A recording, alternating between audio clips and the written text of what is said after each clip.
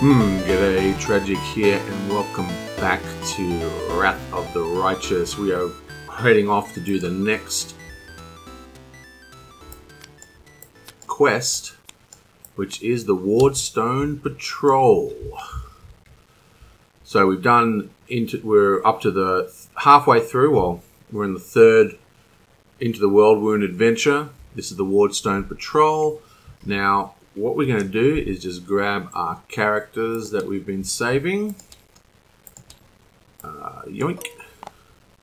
And we're going to play them in the same order rather than playing them randomly. So we're going to put Honora down here. We're going to put Sheila up here. We're going to put Crowe here. We're going to put Alain here. We're going to put Kyra down here. And we're going to put, oh, there's a die in there for some reason. And we're going to put Adowyn over here. Okay, now remember, we are playing with the full expansion pack. We are also playing with all the all the uh, boon promos. We're playing with the uh, iconic hero stuff. But what I'm actually going to do is I'm going to take out this iconic hero one because she has her own. She has actually a cohort version of this card, and I just don't like having two of those cards in there. And we're also going to be playing with the. Uh, oh, do I already do the boons? Uh, wait. Oh, here we are. They, they come out of the green box, that's right. And we're doing the boons as well. Okay, so we'll just get rid of them. Yoink. So we've got our pool set up. We can now grab our decks. Now there is a modification I'm going to quickly do to one of the decks. Basically, I've been playing that during the deck building phase between turns, I can place any basic card into my deck. But that's not exactly the rules. I've been playing it wrong all the time. What you have to do is you can only place in basic cards if you are unable to make a legal deck with the card pool you have. So you can't just choose basic cards, they get chucked out as always. So what I'm actually going to do is, if you remember, I chose just to try it out to use this Javelin, which is a basic card, into Adowyn's deck. This is the, uh, but I actually decided not to take a heavy crossbow. So I'm going to give her the heavy crossbow back. And I'm pretty sure that is the only example of that that I have to worry about. I'll, uh, from now on, I will, I'll be doing it correctly. But yeah, so basically during the deck building phase, you can only add basic cards if you're unable to create a legal deck using the card pool you've got, which is a huge difference. Okay, uh, let's build the scenario now. And yablamo, yabonk. Now I've done all the uh, the lore stuff. So all I'm going to do here is go through some of the other things. Basically, I might have to put this into the mod, but I we need the Cult of the Baphomet, we need a tree, we need a guardsman, and we need a right or Rythor how that's pronounced. So I'm just going to put these over here in the spawnable locations. Blamo.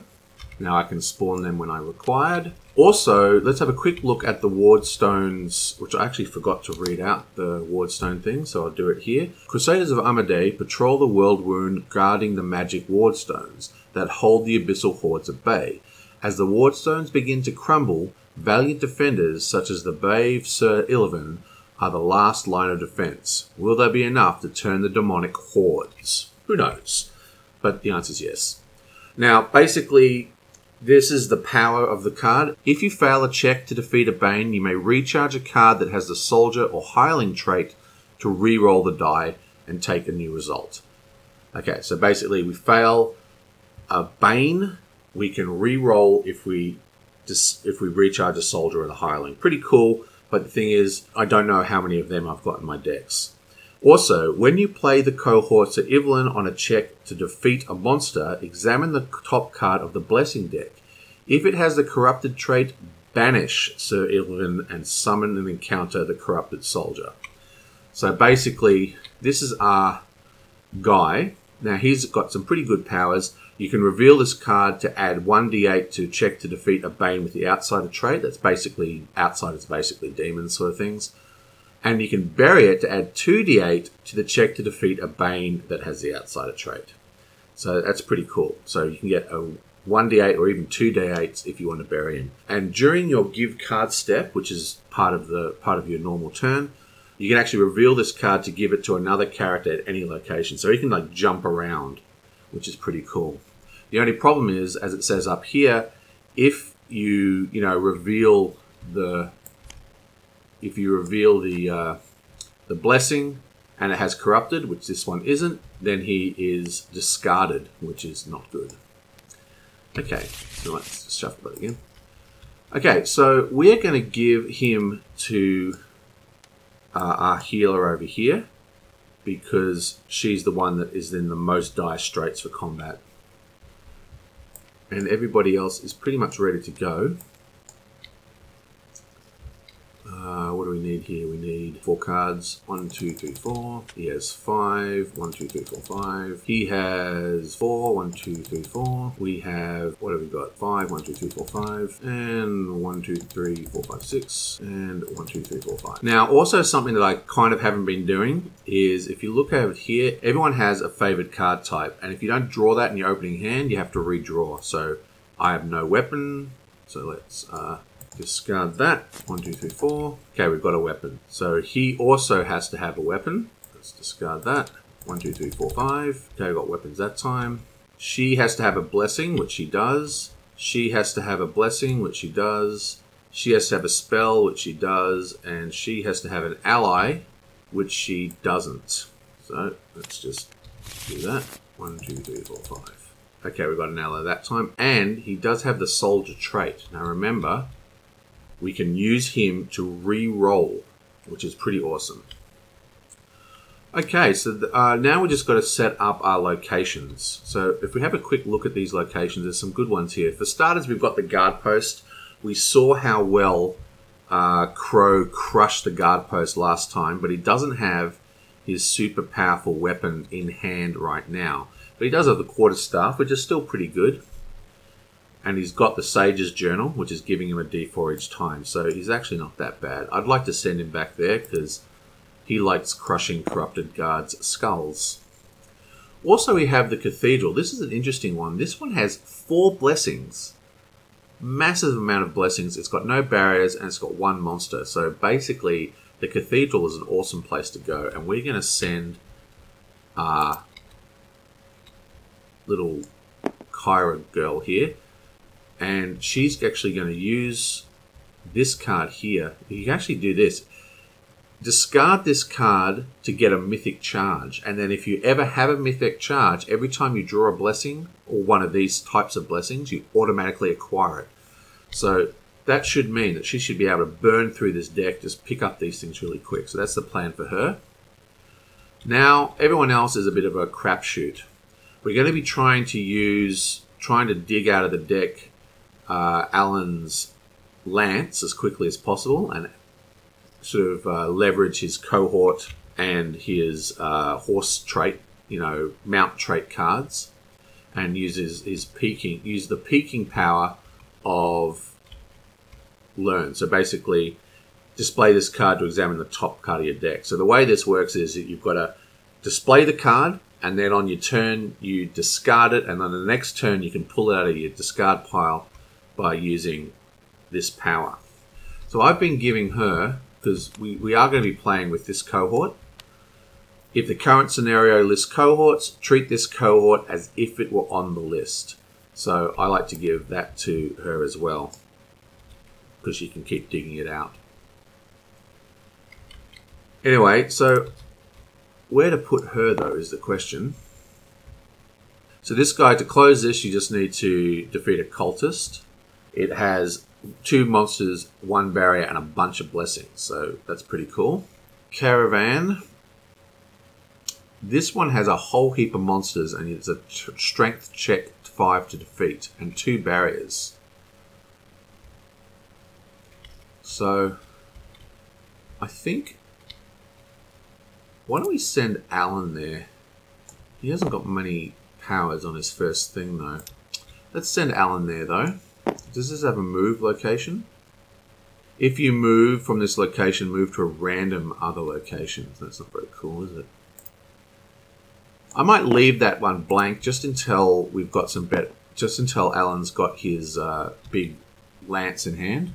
Family Tomb, this is really easy. We just got to kill a right. Now the right is uh, Combat 10, which isn't too hard, but it deals one unavoidable cold damage whenever you see it. And bury cards instead of discarding them, which is horrible. So let's uh, send him there to the family tomb. Okay, so the Wounded Lands, we've been here before. This one requires a survival check, and she has our best survival. She's got survival uh, D8 3. I think that's our best survival. Two monsters, three barriers. It's a pretty harsh place to go, though. I'd rather not go there if I can avoid it. What about the canyon? When you encounter a non-henchman, not, this has three monsters and three barriers. That's a horrible place. Good for skull crushing, though. And to close this, you have to acquire the bottom of the blessing deck, which is actually pretty difficult. Okay, I think I'll send...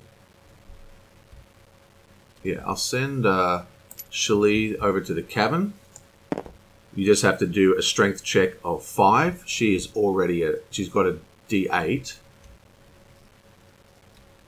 So the question is, where are we going to send our spellcaster?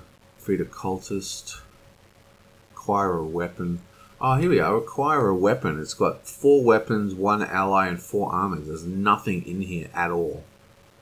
So basically, you just pull a character out of the thing. So I think what I'm going to do is I'm just going to have Alain go bam, bam, bam, bam, bam, bam. Which means that she can do this one here. If you fail to check to defeat a monster, discard a card from the Blessings deck. Wow, that's harsh. Yeah, I think I'll send her to... I think I'll send her to the family tomb and...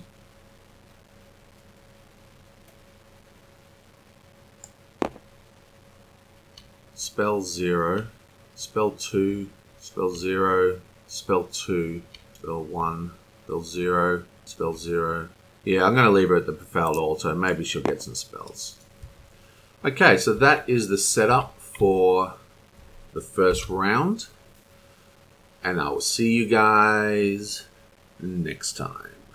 Oh, I just want to apologize for the kind of jerkiness in this video. I was testing a new rendering system where I'm rendering and capturing off my network drive because I just installed this new server system but my workstation is just it's just too slow because uh, I'm using Wi-Fi and I can't be bothered wiring up the whole house. So uh, the the recording was a little bit was losing frames. So there's nothing I can do about that. I'm going to switch back to just doing the recording locally, and it should be back to being smooth. Okay, see you guys next time.